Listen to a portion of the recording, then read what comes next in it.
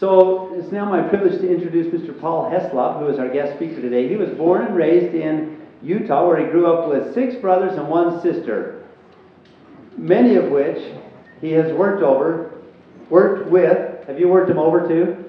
He's worked with them over the years. He and his high school sweetheart Laura got married and now reside, reside in Farmington, Utah with their three young children. Throughout his life, Paul has always been very entrepreneurial and, and tried to build his own businesses. In between playing sports, Paul ran his own yard care company in high school, earning to save for college. Some of you can probably relate to that. In 2007, he owned and operated a cell phone store for T-Mobile, and upon exiting that, was in search for something new, and he found it. While a senior at Weber State University in 2008, Paul acquired Salt of the Earth from the founder, which was a, next, a neighbor of his, and he continues to run and operate the business today. Salt of the Earth manufactures body products for day spas and resort spas. Uh, and in the past few years, he's taken what was a garage business to a new level, selling globally to top spas across the world, including Hong Kong, Italy, Mexico, England, Middle East, Australia, Canada, and more. So will you please join me in giving a warm welcome to Mr. Paul Heslop.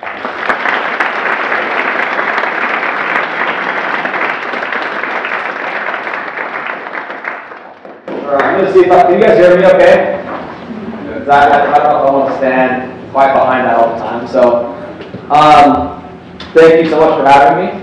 Um, I do have to give a shout out to my aunt and uncle, Jan and Kim and they work here, they're veterans here. They're amazing uh, uncles, uh, family. Um, so treat them good. Um, yeah, so little, I, I, want to talk to you guys today about a few things. I, I, I would I'll tell you a little bit about our story. I want to talk to you guys about uh, branding and marketing and hopefully um, how, you know, when you're starting out doing something, if you want to start doing something, if you want to do a little side business, um, I want to talk about some important principles that I believe attributed to the success that we've had um, throughout the past 10 years. I've been at it for, in March, it'll be 10 years. So, um, nothing, nothing, nothing, nothing happens overnight. Uh, and we're still like, I, I, I, don't know when or how I can define like making it. Um, success is a very variable term, and so I'm going to talk a little bit about that as well. But um, yeah, my neighbor started this company um, would ride my bike to her garage and make salt scrub and soap in her house and in her garage. And I thought it was kind of a cool company because it was this home-based business that I worked at, and I liked the lifestyle of that. Um, I, I, kind of learned that very early on in my career the fringe, I maybe call them fringe benefits of entrepreneurship. Um, I had this yard care company, and we would uh, we just wanted to earn spending cash. That's what that was our, our time motivation. We just wanted to earn spending cash in high school. So we would like go to companies that we liked too, like there's this chocolate factory, like Cavernous Chocolate, we mow their lawn, like the, our favorite pizza place in, in uh, we, all the high school kids would go to lunch, we, we'd mow the owners of their house, their lawn, and we, in exchange for 25 bucks of pizza credit every week. So we had this tab rolling at the pizza place that we could go. And so I kind of learned early on that always wasn't really about the money for me. It was about the fringe benefit, being in something that I could call my own and something that like had kind of like fringy benefits.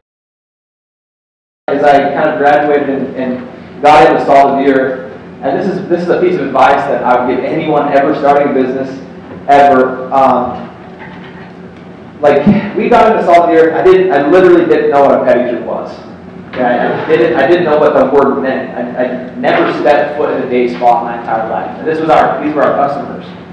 Um, why I wanted to buy Salt of the Earth from, from my neighbor because I, I knew I could work really, really hard. That's all I understood. That's all I knew. I could work harder than she was working. And so I, that's all I had knowing. I didn't know anything about industry or, um, so got into it.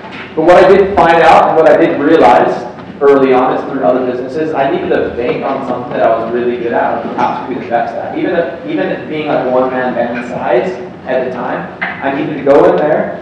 I needed to figure out what, even like on our small scale, like what could we be better at in the industry than any other person, right? And so we're like, okay. And at the time, we would like have answer every single phone call. Like I would, you know, I'm uh, I'm forwarding all the phones to my cell phone, so when somebody calls on the East Coast at like 5:30 a.m., I'm like clearing my throat in my bed and like answering, so I'm here to kind of help you. So I want to talk to every single customer, get to know what what they like about us, and a lot of customers they would like request a lot of stuff, and being naive, I would say yes to everything. I'd say, yeah, we can do that for you. We can take care of that for you. And so we started doing a lot of customization for spas.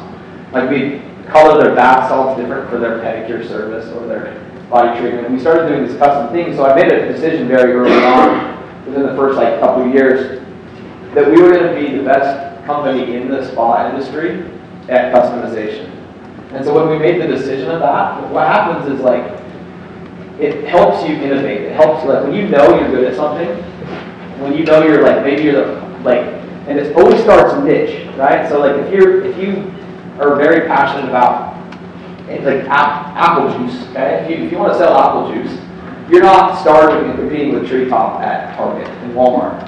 You're starting and you're going to be like, I'm going to create, I'm going to sell to um, restaurants in Ephraim, Utah, and I'm going to I'm going to be the best at this. And then the niche grows and grows and grows and grows. So we're like, we want to be the best company in customization for this specific type of spa. And it's expanded beyond that. But with what started with customizing bath salts for spas, turned into, I, I started falling in love with design. I taught myself Illustrator. And I wanted to um, have a really professional image. And so I started designing stuff and getting better and better and better at that. And now we create these tools. It's like kind of like table-side guacamole meets like bath and body. It's called a blend bar, and we take it in the spas, have it in their location, and they literally custom mix product in front of their guests. They walk up, they smell the scent, they choose ingredients, and like it's made very creatively in front of them because understanding the base of what I wanted to do as a brand, like what we were good at, what we could bank on 100% of the time was this custom thing. Now like, it's evolved and like you know, seven, eight, nine years later, as this evolved, like now we people come to us, people are looking to us. And the reason you need to be good at something in my mind, or the best at something, is because people think of you when somebody wants to change their spa menu into something custom, they think of us. Like we, we're the first people they think of. And so I'm going to show you a couple uh, videos that we have. This, this one uh, has just a little bit of taste about the brand. Shows some of the custom things we do.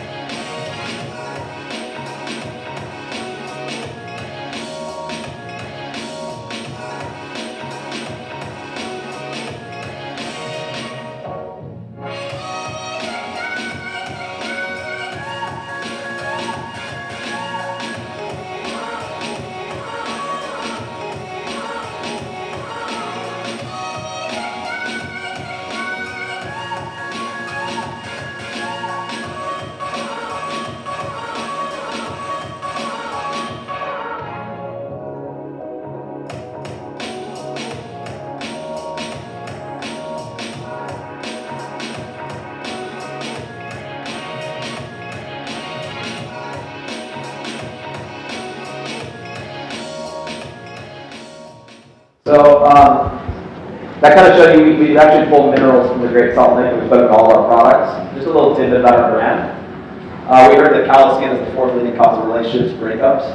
so we, so we've had, we, like for us, like we're a kind of young, fresh brand. We're not afraid. Like that's the thing is like we use our own voice. Like we're in this high-end skincare kind of fluffy clinical industry, but we're not afraid to be very transparent, use humor, and show the human side of our business, which I'll show you guys a little bit more of. Um, we also heard that when Taylor Swift tries this, she'll write a breakup song about her old body cream. We know how much she loves those, those breakup songs. Um, So yeah, the brand, we, we actually pull minerals from the Great Salt Lake, we put them in all our products. So we call it America's Dead Sea. It's really cool, like we're at a, at trade show in like Dubai and it's like America's Dead Sea, the Great Salt Lake, like featured in these different like parts of the world. Um, that's the blend bar station I was telling you guys about. It's kind of like the table side guacamole meets bath and body. And this is kind of what set us on the map. Um, put us into some of the top spots um, from Ritz Carlton, Four Seasons, all over the world, and put us into some of the, some of the top places. Um, the thing that, that, that I've learned a lot about that I feel like um, is a very important principle is to, like so many companies now, like you, you've got to like promote yourself, you've got to put yourself out there, and I feel like you, you have to become your own media company, okay? Um, I think this is one of the most important things you could possibly, you're starting your own brand, you've got to be able to produce your own assets or have a connection with someone who can help you produce those assets. So like four years ago, uh, that's my little brother Nick, he shoots all of our video, he shot all that stuff you guys see and edited everything. But we didn't start there, like we didn't start with, like we started with cell phones and GoPros, and you have to start, is the point. So when you're starting out, um, Nick had this, has like, Nick, here's some camera, here's like some software. Like, he was working in the warehouse, like making lotion and body scrub. And I was like, okay, just get good at this. So every week, to practice and to show the human side of our business, the, the brand, we want to show our, our warehouse. I don't know if you guys saw the warehouse, it's like made out of storage containers.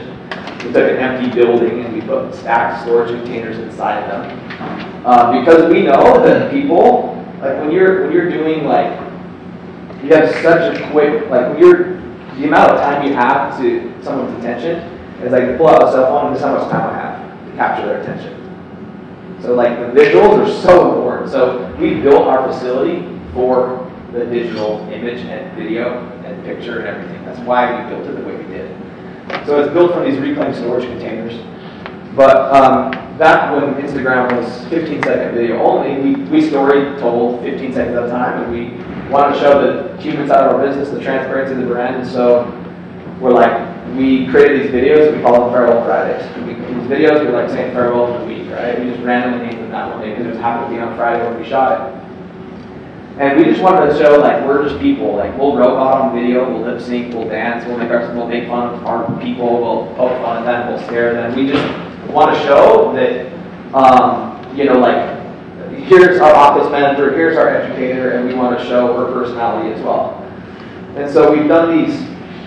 As we've gotten better and better at this, um, we've evolved the concept. But we do a video every every week, um, at least one video a week. Um, because the idea is like we want to have eyeballs. Okay, we want people to watch us. We want people to pay attention to us. Because when they're ready to buy, when they're ready to switch over, when they're ready ready to purchase a new, you know, something new, like they think of us.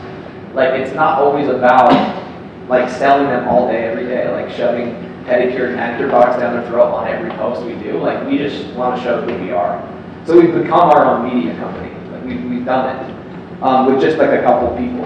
And so like our photography, our videography, all the creatives, like all done in-house with just a couple people.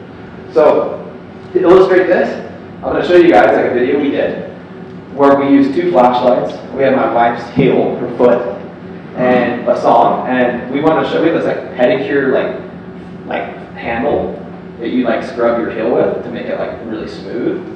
And rather than like we were launching this to our customers, rather than create a video like talking about it, we were like, let's create, let's we want to show the product off. And so this is the this is the video we came up with. Two flashlights, uh, pitch black, and then my wife's heel. Turn my music ha ha ha yeah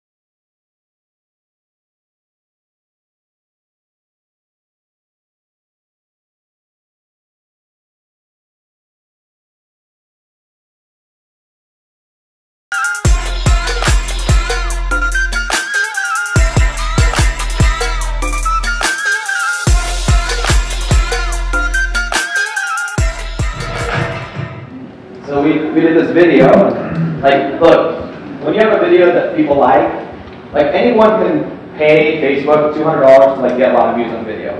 That's like no engagement. Anyone can do that. You can take yourself on film a video, and you get you get twenty thousand views right now. But if you'll pay for it and no one will like it if you don't, you're not creative. So we take stuff that we like, that does well, performs well organically, maybe on my personal page, and we'll promote it. We, we spent $120 and had 12,500 views to spa directors, and health technicians, and spa owners. There's the 12,500 people who have that job title on Facebook saw that video. And because we knew, uh, you know, could perform well. So there's lots of tools. Now, All the tools are at your disposal to go and create a company and be successful with it. There's, there's a variable. You gotta be creative, you gotta have something that people want. Um, and in my mind, you have to be very passionate about it. Like, I didn't know I'd be consulting spas on their, on their spa body treatment menu at this stage in my life. I, I had no clue. I, sometimes it's hard, like I get this question a lot. How do you know what you're passionate about? I don't know. You just have to go and start doing. That's the thing about entrepreneurship. You can't, you can plan, you can strategize, you can create business plans, you can do all this stuff. You just have to start doing stuff and you have to get somebody to give you a hundred bucks in exchange for something else that you really like to do. And then you figure out, okay, like, how am I tweak my model? How am I change this? What am I, what else am I gonna do? Um, we also, again, I talked about transparency, I talked about doing business, people do business with humans. Who's, who's seen Full House? You guys all seen Full House? Uh, so, you know, like, they have these like intros where they introduce the characters and stuff like that, so. Sometimes when we have our team, this is like an older one, but we've done these a few times where we have our, we want to introduce our team, and so we kind of do it full house style. Um, so this is the one we did like a year, a couple years ago.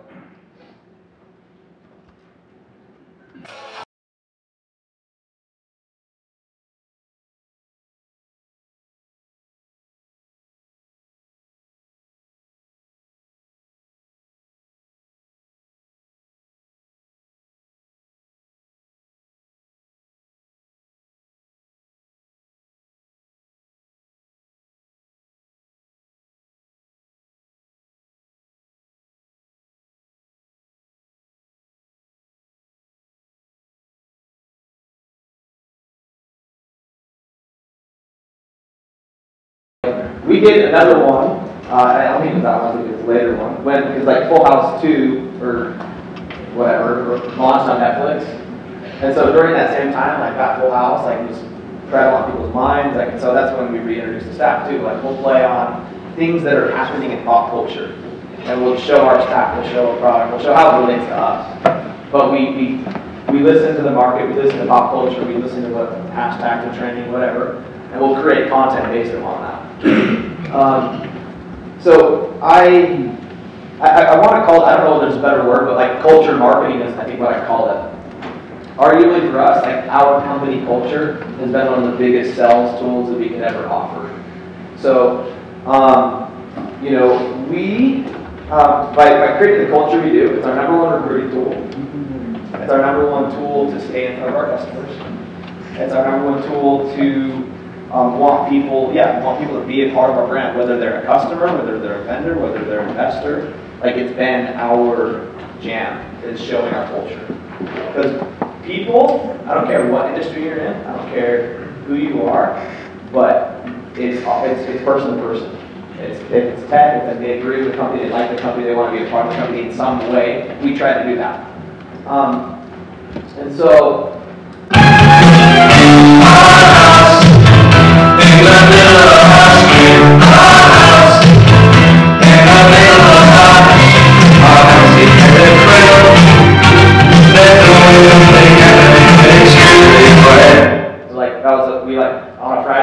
how we get to work on Fridays, right? Or we go to a water park. Like some of the stuff we're just like faking, right? Like we're like this is what we do. This is what we did this Friday. But it doesn't matter because our employees had a blast doing it. Okay, it affected their day. It made them smile. It made other people smile. And our entire goal with our videos and our um, culture and our brand is like we want to add immense value to the customer. And I don't care if you're getting 37 views, 50, views, it's like the right target. Like, of the people watching our videos on like major spots globally, right? And we stay in front of them. I don't care how many followers, I don't care how many double taps you get on Instagram, none of that matters, okay? What matters is you're just consistently putting out content that gives value. And we can make someone cry, we can make someone laugh, we can educate them. And if we give them enough value over and over and over and over and over again, maybe we can ask for a sell, or maybe we can actually um, sell them something when we want to promote a product. They're there, our audience is there. Um, this is uh, another kind of reference to show you. Like, you guys remember the United Airlines like drag, like they drug the half plane? Okay, so that was happening, and the Jazz were in the playoffs, so we want to playoff those two. And we, and again, like we want to let people know this is our educator pilot. Take the jersey off. What did you sign when you first signed? What, what paper did you sign? You cannot wear a Clippers jersey in this office. Okay, Take the jersey off. I'm not taking it off. We are tied one-one in the playoffs without Rudy Gobert right now. Take the jersey off. I don't even like the Jazz. Are you in this family? You guys are really- What are you doing?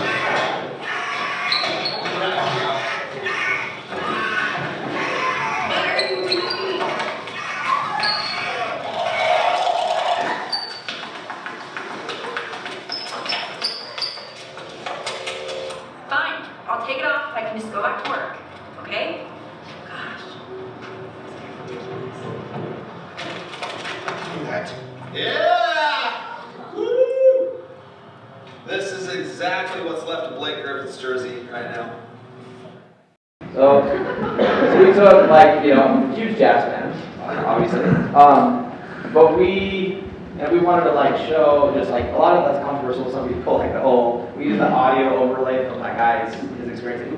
People who haven't seen that doesn't make much sense, but, um, we used the audio overlay and kind of did that. And so we're just kind of not afraid to live slightly on the edge in that, in that sense. And, and that like, you know, organically just on my personal page, like that gets a lot of views, gets a lot of shares, it gets like 20 shares, 25 shares, and that's from customers. And they're, you know, posting from people. And so, um, we also, I'm gonna show you a little, like, there's a couple more videos I'm going to show you guys, but just to kind of illustrate, just to drive home the point uh, about this culture marketing and what it's meant to our business. And it happens 15 seconds, 30 seconds at a time.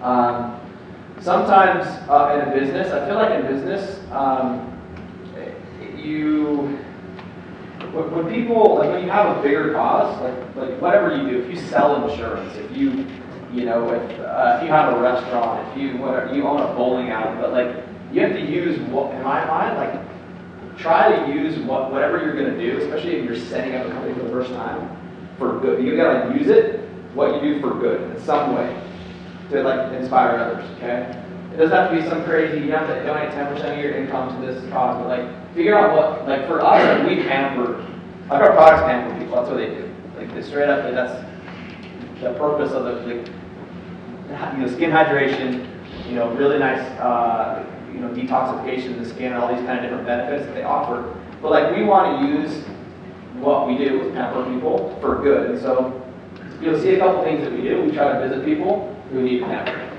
And they're like, or need something, like they just smile. So, this, uh, I think this next video is a recap of some of our Friday videos from either last year, the year before. We do kind of an annual thing, where we do kind of mash a bunch of them up. But this will show you guys. Do you want me to say something different? Like, I know, I want, to. I want to We're freaking awesome, freaking awesome, freaking awesome.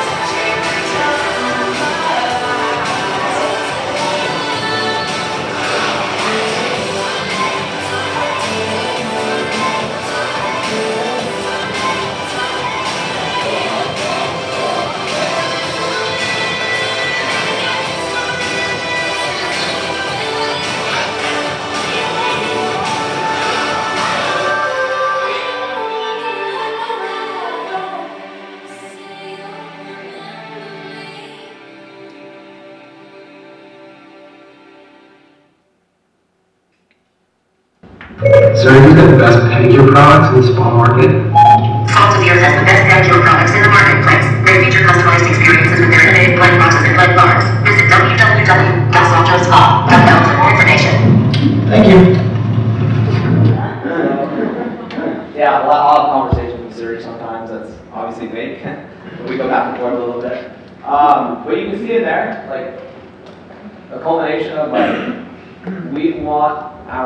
Business to be a place people want to be involved in, straight up. And, and that's how we built our company. And it's not social media, the right content and creativity. It, it's people are not patient, okay? Because social media is definitely not. There's things that can, you know, get shared or like help with growth and stuff like that, but it's about consistency. It's about value. It's about getting value. Like maybe on some of those cancer dancer videos we did, like maybe we, like we wanted to raise awareness with our GoFundMe page. Like we share a link and it gets lots of views and they share it. Like maybe it helped them, or maybe it may inspired someone else to do something good for someone else. And so the, the point of those is, you know, it's always not about business, but we want to have fun at work. We want to show that. And it looks like a cool place to work, right? um, and, and so this is how we've done it. And it's, it's like social media is push-ups, okay? People want to take weight sometimes in business and just bulk up, okay? But it, social media and value and education, it's, it's push-ups. It's going to happen. It's going to help over time. It's not going to happen. It's just a lot, a lot of it every day. It's going to help. And that's what it's like. And, and so you have to be crazy patient. The, the, the, you guys are going to school right now, okay? So you, there's an advantage you have. Like you are in school, you're going to start a career in something, you're going to start a business in something, and you have the opportunity to find and hone in and do something like while you can live cheap and you don't have like mortgages and kids and maybe you do, but like you can just you can actually start something and it takes so long and just start doing. It evolves. Like somebody start a business and like your your business plan's here, like where you're at is like over here. It evolves all the time. Nothing's perfect because you just like see opportunity, you tweak, you change, and that's what always happens. You guys remember what planking is? You guys remember that? It's like 2007-ish, 8-ish, 6 maybe. It's like way old. Like totally was just like one of those like online sensations where people kind of you go like flat and you like I would like plank my body on across this thing, and like take a picture of it. It was like huge for a while. And so like for me, I, I call it the power of planking because it's not about planking, but the principle of standing out. Okay? Because like in, I'm in an industry where it's very small, even globally. A lot of people are like a lot of them are on Facebook. I'm friends with a lot of them, and we want to just we just want to stand out. And like I'll go to these cool places, and so everywhere I go, rather than take a picture like in front of you know somewhere like cool place in the world, I I, I planked. Uh, that's, and my goal was to bring planking back. Like I would have this hashtag. Um, and so I started doing this in different parts of the world, like everywhere I go. Um, you know, and people are like, ah, Paul, where are we gonna plank? Like, you know, like Bourbon Street in New Orleans, and Seattle, and you know, we have we have a lot of uh, people come to our facility. So you know, Times Square, I don't know what this guy's thinking right here. but uh, you know, there's in Italy, and Sydney, Australia, the Paris Airport, and this last one, I call it the power of thinking because you, you know, like people, it's not just like funny, like it's just interesting. Like I'm not, again, I'm not saying like buy spa products for me, buy lotion. Like here's the benefit of my thing. I'm just trying to stand out and like be kind of weird and just be myself straight up. Like if you're weird, be weird. If you're a geek, be a geek. Like just be you, straight up. That's my, be authentic. And so with this, um, there's the, this big trade show every year. It's put on by the International Spa Association, usually in Vegas. Um, and the chairman of the International Spa Association, for some reason, he got looped in, like we became Facebook friends through mutual, and then like he started um, he started planking. He's like would tag me, and call me out, and like we tagged other people. Like so within like the industry, kind of became like a thing, like our little our thing. And so he was passing through Utah for a big charity thing once, and I, the, the lady she's on like the Housewives of like New York or New Jersey or something like that. And he was with her, they were doing this big charity thing, and they stopped in the office and playing, and in his keynote in front of thousands of spas at this big church over here, he he showed where he planked across, and he like he's like Paul Heslop was all of the earth, challenged me to plank off, and I'd brung it, and he like showed me how he like showed me up, he's like all over the world. And the last picture in his keynote was this photo in my facility in Salt Lake, uh, planking with this Heather Thompkin, Thomson from Real Housewives. And um, so the point is, like, I was just trying to like do something that was different. I wasn't trying to sell anybody anything. I was just trying to like use be me and, and embrace me and like the weird, the quirkiness of whatever that is. And whatever that is for you, like, you just have to be yourself in, in, in every way you possibly can. And so um, it, it paid off for me. I think putting yourself out there, like when you do your own business, you have to raise money. You have to get people that you don't deserve or you can't afford to work for you to work for you. You have to, um, you know, get into a lease space that you can't afford, but you need to please give me a shot. Like when we did, to, to give you an example, I started like researching and design, and I knew I really wanted like an amazing firm to like redo our sort of logo and like our and some of the base brochures and stuff like that for the brand. And when we were looking at all these firms, I like I couldn't settle on like just a random graphic artist or whatever. I'm like, I need to find the best firm in Utah I could possibly find. Who's, and I specifically didn't want them to ever have done skincare or the body, because I wanted them to have a box vision of something. So I, I worked with this, this company, and I was like, look, this is my vision for what I'm trying to do. This is what I'm trying to pull off. They're like, well, what's your budget? And I was like, uh, you know, not, not much. Um, and so I started telling, they're like, tell you what, like, this is what I want to do, this is what I would love for you guys to do for me. And I wasn't trying to just like, you know, gouge somebody, take advantage of somebody. I was just like being genuine. I was like, this is what I'm trying to pull off. So they're like, they will take a flyer around. Actually, we want to do this as a project. Like, it's how much money I have. Like, all right, we'll, we'll do these like five things for you. And I was talking to some other companies before. They're like, they they doing your your your logo and your this and this. They're like, how did you do that? Because like, you know, it's like it's like 25, 30 grand for a logo for this company, and just a logo. Um, but we, again, like, you have to, when I talk about putting yourself out there, I talk about selling, you've gotta sell yourself. You have, you don't have to be this, like, person who can go on a stage and, like, you can, like, just kill on video. Like, I know there's very successful, like, recluses. Who are just like, they do their thing, and they add their value, and so you maybe need somebody who can put himself out as a, as a partner.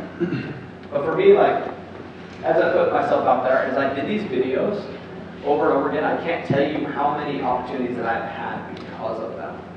Um, well, uh, there was a, and just trying to be creative. So this same, I, I mentioned the ISPA, the International Spa Association. They did this, uh, they had this magazine, it's like, it's called Pulse Magazine, it's like, it goes out to like the top thousands of spas, it's readers, thousands and thousands of leadership, the high, high-end top spa in the industry.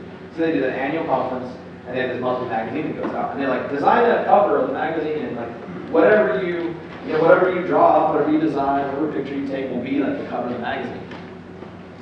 So I was like, okay, like I had a photographer coming the next day when, when I found out this to my facility to shoot.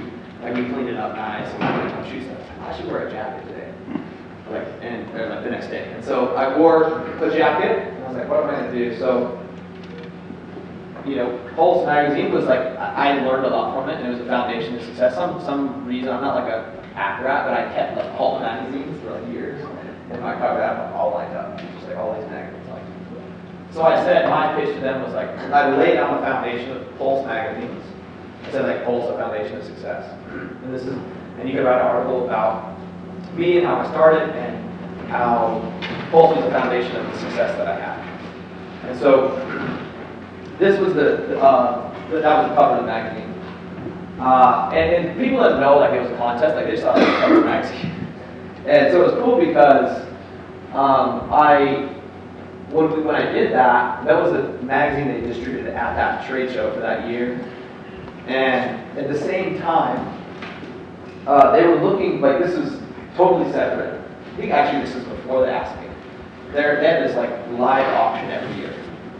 And this live auction where they like raise money for their foundation, they, they like give away, you know, guitars signed by U2 and trips to Australia, all the Final Four tickets to raise a bunch of money for their foundation. And their auctioneer was, uh, was gone, like he was out of the country at the time, the regular like auctioneer guy who does it. And so they called me like, hey, you, you, can you, can you be the auctioneer? And I'm like, okay, why, why are you asking me this? Like, why, we, we, we know, we watched your videos, we know you're not to put yourself out there.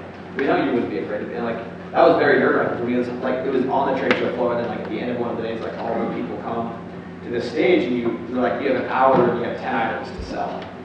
Um, so it was very hard, and I had to stretch myself to like put myself in those shoes. And you're always having to stretch yourself, always, always learning. And so I did that. It was the same year as this trade show. And so like I had a 10 by 10 booth, paid the smallest sponsor at the show. It had arguably the best, biggest exposure, all for free at this trade show. I had a friend spend 100,000 at that trade show. I spent like four grand. Um, and so, as I, and then I, and then I actually bought um, 500 copies of that. like, there you go, getting big now. Like, I signed them, and I would jokingly, like, I sent them to top customers, potential customers, just cheesy, kind of like, you know, for Paul, and like, and I sent them to other publications as well, like a little sample. It's like I leveraged it like crazy. Um, and so by putting myself out there, it really, it, it's, I'm just telling you, there's so many opportunities that I have. There's a lot of exposure that we've got because of this. Um, how, how much time do I have? Monday after is Wednesday, not Okay, next class. Um, we've tapped into influencers pretty well. So we have our facility. We wanted bloggers and influencers to talk about our product. So we made an event. We gave them a free product. We gave them a little hand treatment. We made a huge pinata that looked like one of our jars. And we called up, like, now that I have like the top food bloggers and all these people in Utah coming to my facility, because I create a lot of value and cool things around this event. Um, I, I call it Whole Foods, like, do you want to be the exclusive food sponsor for this event? Like, they had like chefs from Park City coming in, catering creme brulee and making all this food out back for us that we didn't pay for. And then we had a top spot, like, this is who I have, come to my event, you guys want to be a part of this? And, um, like, sure, so we had about three grand prizes inside our pinata, small pinata, small pinata. And we did out in the parking lot.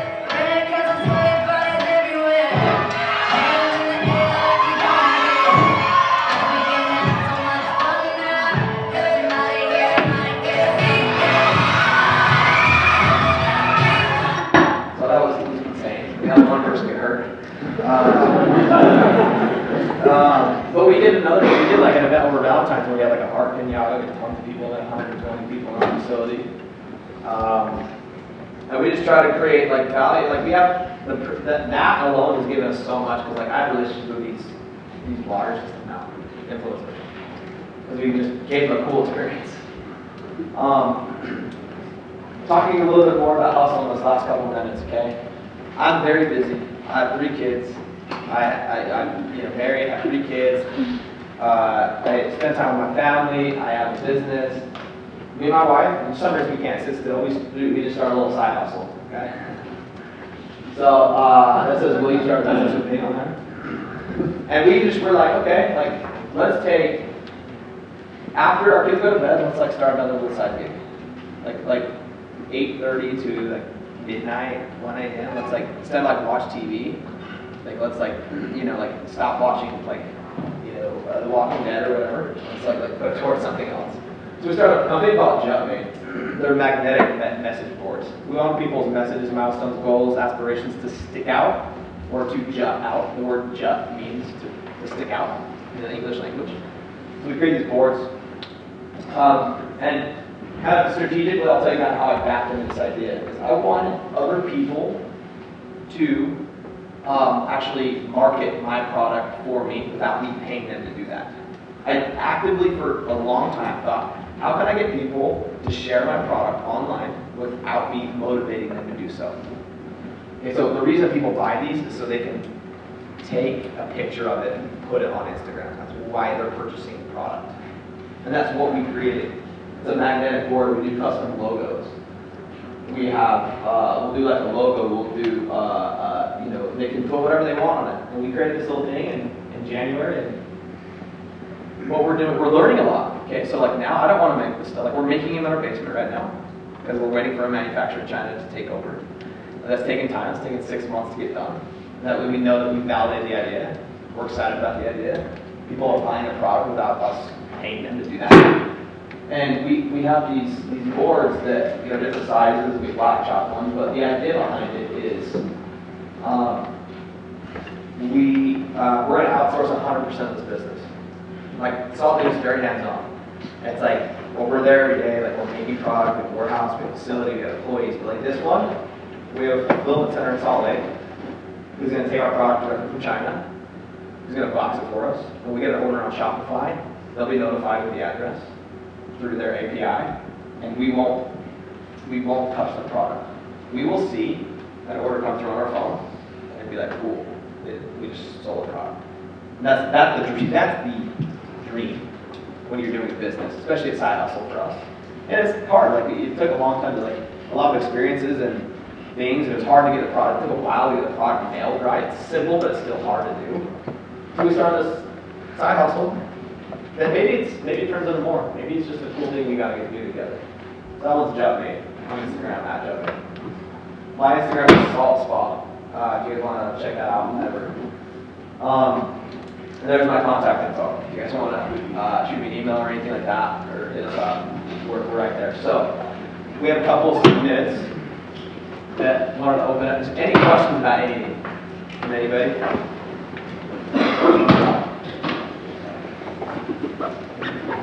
Okay. I'll be hanging around for a second. If anybody has questions that I want to ask in front of anybody else, we'll talk to you kind of out back there. So thank you guys for your attention, for your time, and uh, good luck